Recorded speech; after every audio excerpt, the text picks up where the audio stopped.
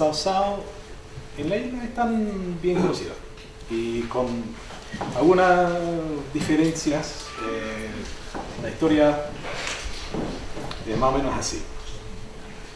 El en el año 39, por ahí, llegó una, una yate eh, alemán en la isla, que tenía, o sea, la, la, la, la.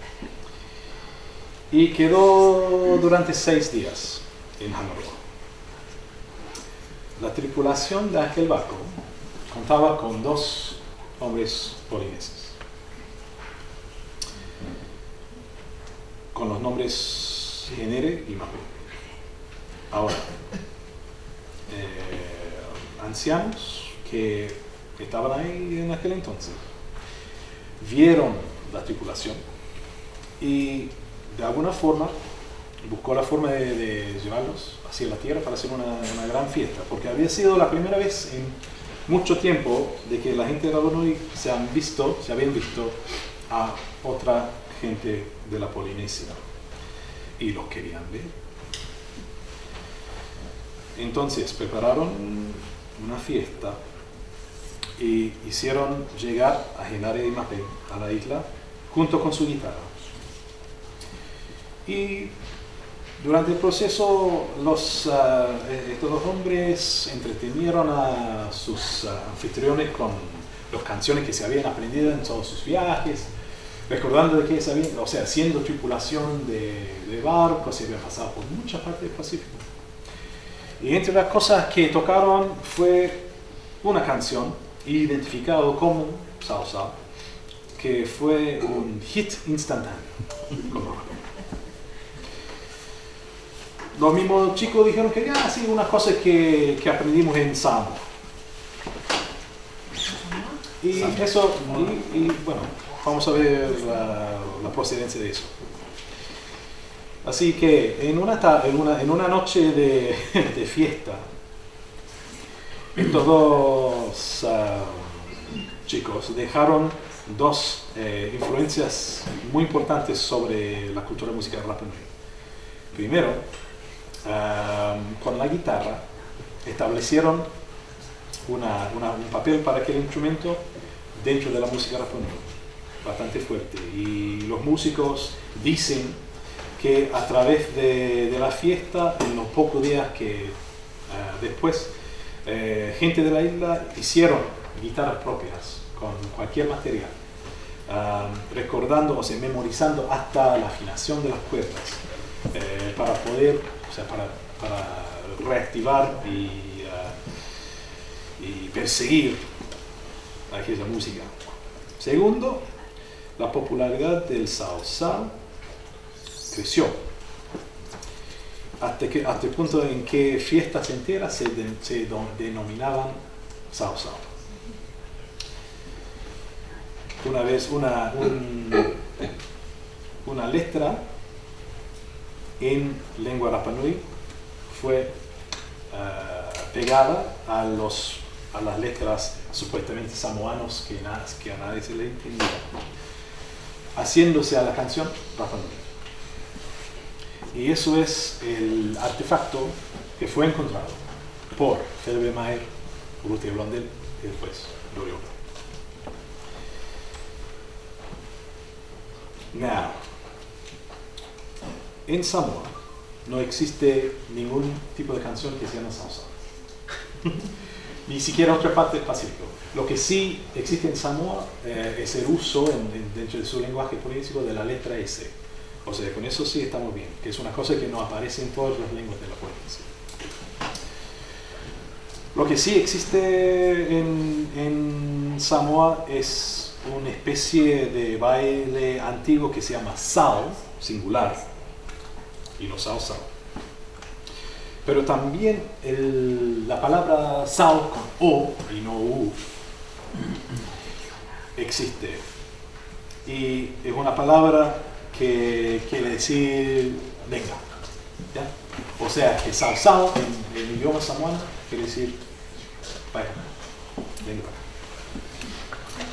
Entonces, con cierta, con, con un proceso así de deducción más o menos, tiene cierta razón en el contexto oral y si estamos hablando de una fiesta, en que estamos hablando de un encuentro entre gente de la Polinesia, que hay una, una canción que trata de ese tema, de la, del acercamiento, eso sí tiene cierta razón.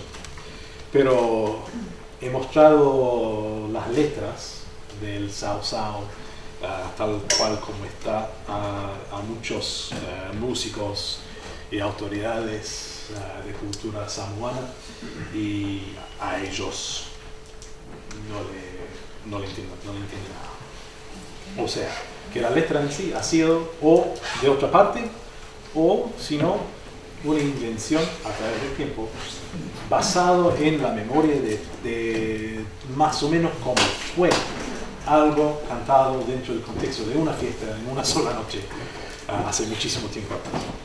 Pero está registrado y grabado en, uh, en la cultura. La razón por qué el Sao Sao ha sido tan, tan, tan importante en el contexto, porque o sea, es un ejemplo de varias canciones que tienen una procedencia más o menos parecida.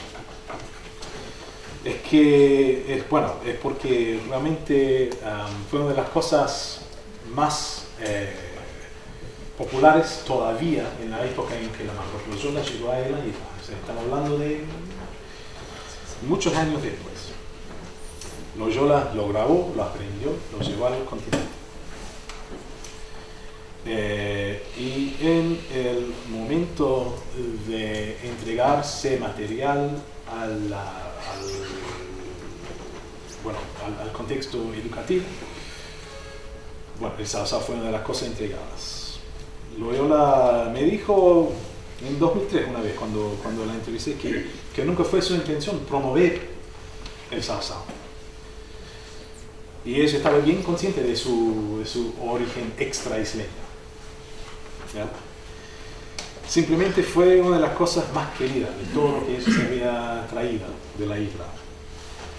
Y me dijo que fue como si fuera que tenía una vida propia. En, en, cuanto a la, a la, adoptación del público chileno hacia el Sao Sao. Y por lo tanto no, no tenía sentido dejarlo afuera sino que fue como una, una fuente de encuentro para el continente, hacia la isla.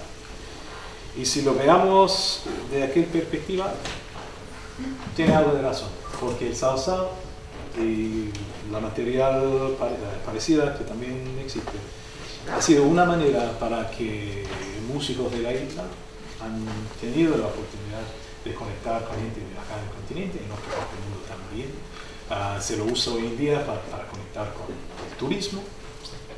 O sea, que tiene ya una función netamente importante dentro de la cultura contemporánea. Bueno, la discusión del salsa, aunque sea una sola un solo ejemplo de, lo mucho de que podríamos hablar, uh, revela dos eh, cosas. Primero, que la presencia del Sao Sao dentro de la cultura viva de la isla y dentro de los varios ejemplos de grabaciones en campo que han, que han sido llevados llevado a cabo, demuestra que un registro sonoro puede trascender su contexto original. hasta la comunidad chilena en Australia toca salsa y canta salsa sin mayor información de qué significa o qué es lo que es. Lo único que, o sea, realmente lo que, lo que más uh, le, les interesa y la, la, razón por qué siguen haciéndolo en, en las fiestas patrias, que, que también se, hace todavía en Australia, eh, es no dejar afuera a los Rapa Nui dentro de su celebración. Segundo, y quizá aún más importante,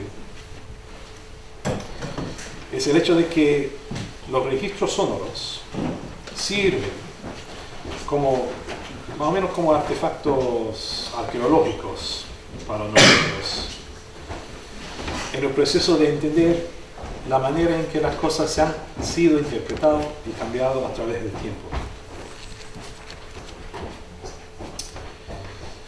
En el caso de Sao Sao, también nos da la oportunidad de pensar un poquito en ah, o sea, el proceso cultural a través de la decisión de los músicos de la isla en mantener al Sao Sao dentro de su repertorio vivo, ah, al lado de todo lo demás que tienen ah, bajo su control.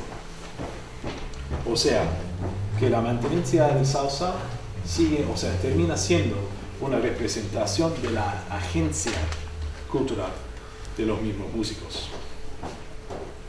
Y tal cual me dijo uno de los, de los, ah, de los músicos de hoy en día, Lin Baku, que es el director del grupo Karikari, que Sao para él sigue siendo honestamente Rapa Nui, aunque tiene orígenes foráneas.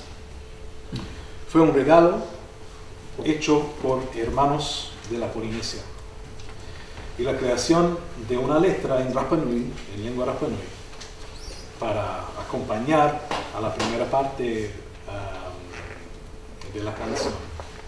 Es lo que transforma la canción en un artefacto de la cultura Rapa Nui. Y con letra Rapa Nui no puede ser otra cosa.